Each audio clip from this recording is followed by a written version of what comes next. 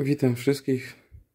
Dzisiaj sobie jeszcze opowiemy o elektrometrze, który trafił mi się do naprawy. E, pierwszy raz w życiu zdarzyło mi się też, e, że usterka to nie był jeden czy kilka elementów, tylko całe wiadro elementów, e, o czym za chwilkę powiem. Tymczasem elektrometr Kitleya 50 6517 który miał objawy takie, że praktycznie nie dokonywał żadnych pomiarów wysokich rezystancji, e, przełączał się po zakresach jak szalony, no i nie dało się z niego korzystać. Zaglądnijmy sobie do środka, ponieważ sprzęt jest rozebrany. Może obrócimy to tak. Jest to konstrukcja z 94 roku. E, do naprawy musiałem wyciągnąć płytę transformator, front panel, bo okazało się, że wszystkie kondensatory, które są na tej płycie, poza tymi praktycznie były uszkodzone. Profilaktycznie zostały wymienione też kondensatory z drugiej strony. Dokładnie to ten kondensator został zastąpiony kondensatorem nie osiowym, tylko takim zwykłym e, z dwoma wyprowadzeniami z jednej strony. Zawsze nie pamiętam jak się to fachowo nazywa. Dorobiona płyteczka z laminatu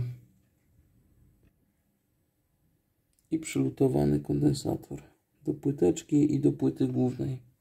Całość oczywiście podklejona, żeby było ok. Nowa bateryjka, bo też stara była kiepskim stanie. Troszkę to zostało wyczyszczone. Zostało mi jeszcze wyczyścić panel. E, a przechodząc do tego, ile tego mogło być, może odłóżmy sobie na bok sprzęta i zamajstrujmy statyw. Dobra, statyw mamy. Jest to wór z kondensatorami które zostały wymienione. To się nazywa prawdziwy recapping. Nigdy w życiu w urządzeniu nie wymieniłem aż tylu elementów. Możemy wziąć tester RLC, do niego jakieś przewody, jakiekolwiek, bo to już nie ma większego znaczenia i sprawdzić losowo kondensatory. Naprawa zaczęła się od tego, że sprzęt został rozebrany i nie podobały mi się te kondensatory.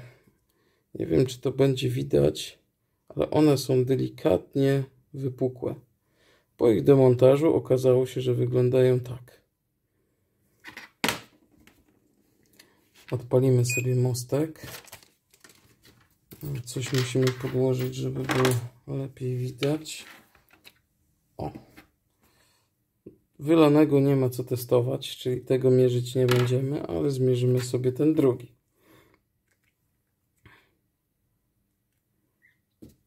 I mamy 11 nanofaradów w kondensatorze, który powinien mieć 47 mikro do wymiany. Przykładowo weźmy losowo następny 100 mikro na 200 V i zobaczmy co my tu mamy. 96 mikro. Można uznać, że w miarę jest w porządku, natomiast jego rezystancja szeregowa jest trochę duża.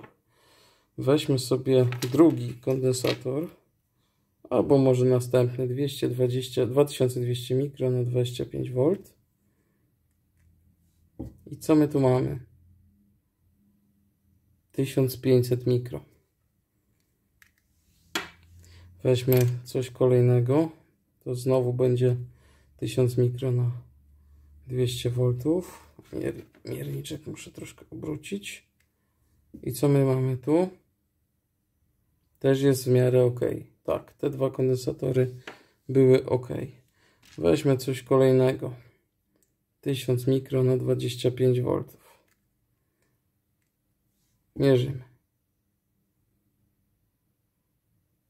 430 mikrofaradów. Weźmy jeszcze coś.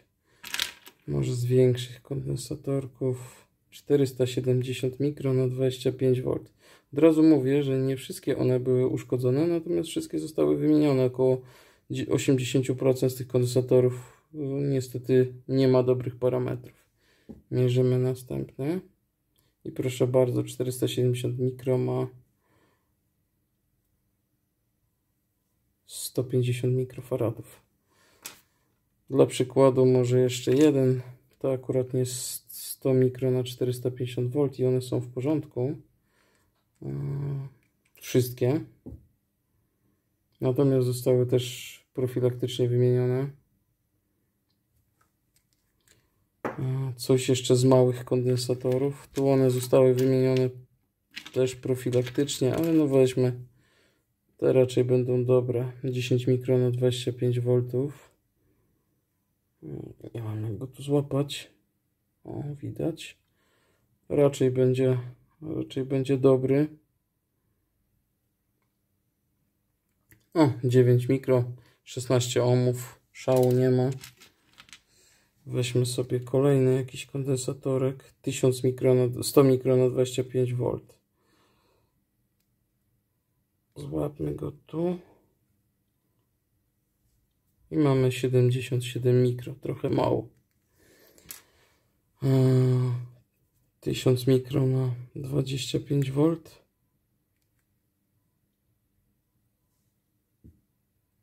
Pięćset siedemdziesiąt. Pozostałych mierzyć już nie będziemy. Wzięliśmy losowe kondensatory. To jest 15 tysięcy mikro, które tam było i one jest sprawne. tak jak mówię, poszło nowe. Pierwszy raz w życiu zdarzyło mi się, że wymieniłem wszystkie kondensatory w sprzęcie. Dobra, przejdźmy do tego, czy sprzęt działa.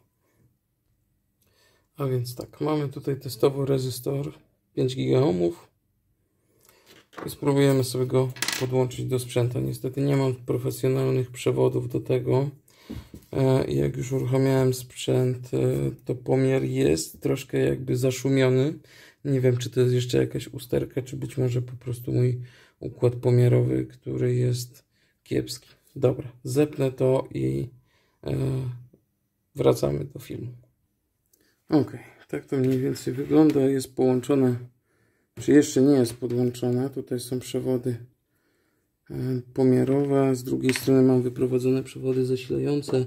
Za bardzo tego używać też nie potrafię. Natomiast odpalimy sprzęta.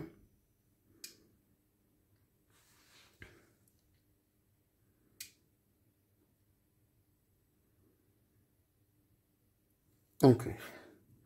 Przejdziemy do pomiaru rezystancji. Jeszcze ten panel będę musiał poprawić. Teraz tak. Podłączamy rezystor 5 gigaohmów do czerwonego przewodu pomiarowego.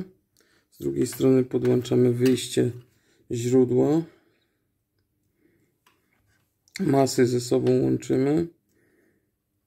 W zasadzie tyle. Nie jest to super profesjonalnie podłączone, ale tak musi być. E, teraz tak. E, dajemy wyjście napięcia i musimy jeszcze je ustawić na tyle, na ile się uda maksymalnie.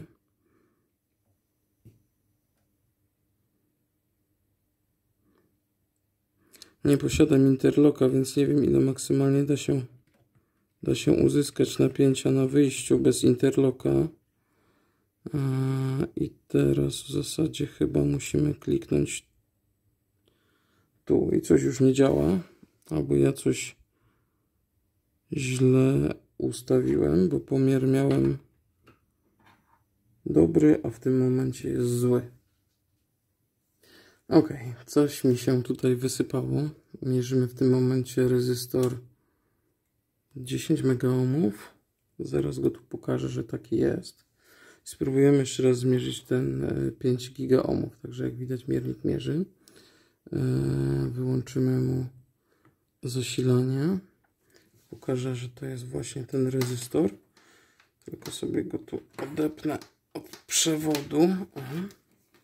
Także to jest ten rezystor brązowy, czarny, niebieski. Spróbuję teraz podłączyć w to miejsce 5 giga ohmów. Jeszcze raz podpinam plus masa i spróbujemy zrobić pomiar raz jeszcze. Coś w zasadzie nie do końca to działa z tym rezystorem. Jest poza zakresem. Ciekawa sprawa. Sprawdzę sobie jeszcze jedną rzecz tutaj. Dziwna sprawa, bo mierzy rezystor 5 giga, który pokazuje 6 giga ohmów. Hmm, teoretycznie prąd jest poza zakresem.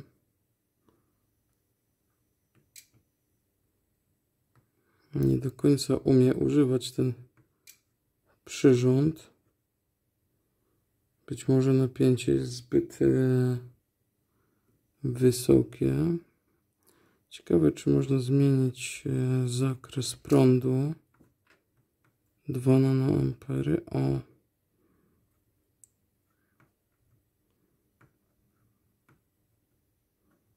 Minimum jest 20 pikoamper. E, zobaczmy jeszcze tu. Zakres i tak się ustawił na Ciekawa sprawa, że na automatycznym zakresie on tego nie mierzy. Dobra, zmierzmy jeszcze raz ten drugi rezystor.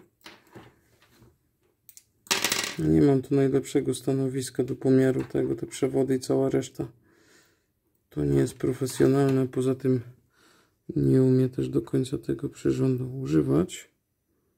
Niby 6 gigaohmów. Hm. Wróćmy coś jeszcze innego może. Dobra, zlutowałem trzy rezystory 10 megaohmów i zobaczymy co jest grane. Być może potrzeba wyższego napięcia na wyjściu do pomiaru takiej rezystancji, a być może jeszcze czegoś. No nic, zobaczmy co się podzieje.